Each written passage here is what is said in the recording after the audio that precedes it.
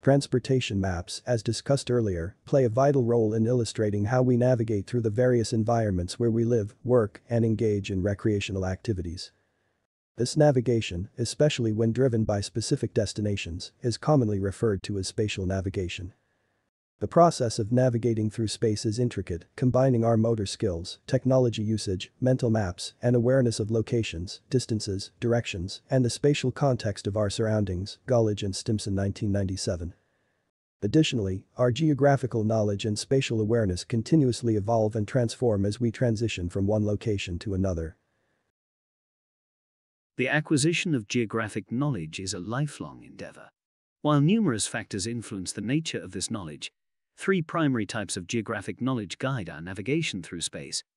Landmark knowledge. This type of knowledge enables us to identify and locate distinct points, patterns, or features, known as landmarks, within a given space. Route knowledge. With route knowledge, we are able to establish connections and navigate between landmarks as we move through space. Survey knowledge. Survey knowledge allows us to understand the spatial relationships between landmarks and discover shortcuts for efficient navigation. These types of geographic knowledge are acquired sequentially, with each building upon the previous. For example, when we find ourselves in a new or unfamiliar location, we typically identify a few unique points of interest, such as a hotel, building, or fountain, to orient ourselves. This process involves developing our landmark knowledge. By utilizing and moving between these landmarks, we gradually develop our route knowledge while reinforcing our understanding of landmarks and overall geographical awareness.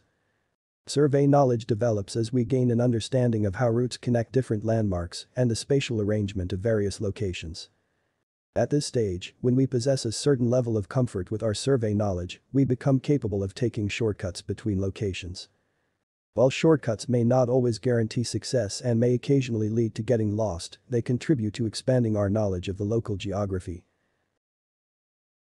Landmark, route, and survey knowledge serve as the fundamental pillars of developing a sense of direction and shape our overall geographical learning and awareness.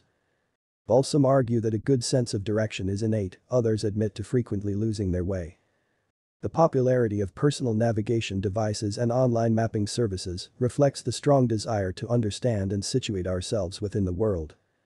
While it can be argued that the significance of cultivating and maintaining a strong sense of direction diminishes as these devices and services continue to advance and proliferate, it can also be contended that the more we learn about our location in the world, the greater our curiosity and motivation to explore and expand our knowledge.